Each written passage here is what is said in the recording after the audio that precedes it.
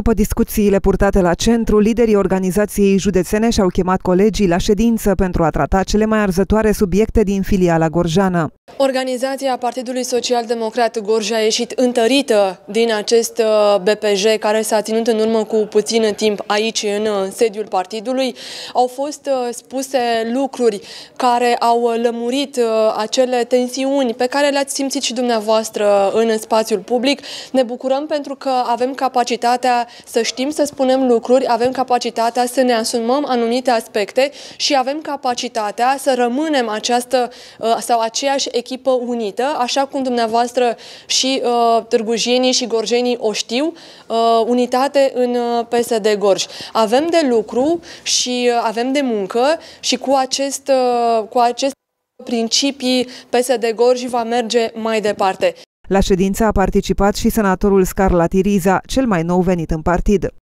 Eu cred că în viitorul foarte apropiat uh, bătăliile, dacă pot să le zic așa, din PSD vor uh, înceta și uh, deja astăzi va fi un semnal că noi avem altă menire în țară. Nu că să impune o schimbare la nivel de conducere.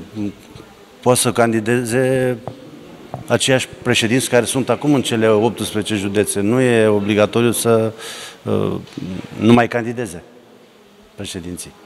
Președintele executiv al PSD Târgu Jiu crede că întregul tărăboi creat de unii colegi în ideea de a prelua puterea trebuie să înceteze. Adrian Tudor consideră că astfel de mișcări nu fac bine partidului pentru că la ora actuală PSD Gorj este împărțit în două viziuni.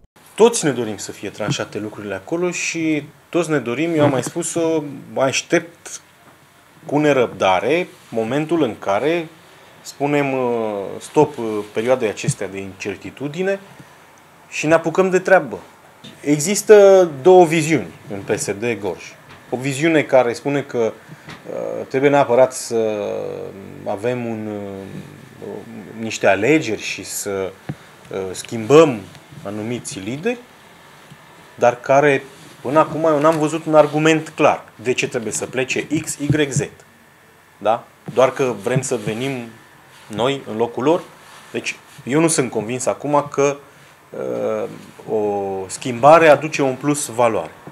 Va aduce liniște, dar liniște aduce și dacă nu se produce schimbarea, pentru că e o decizie care se va lua.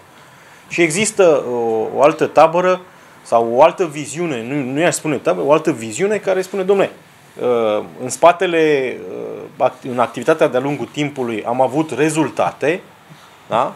am avut recunoaștere și, și din partea organizației centrale pentru că uite ce am reușit să facem.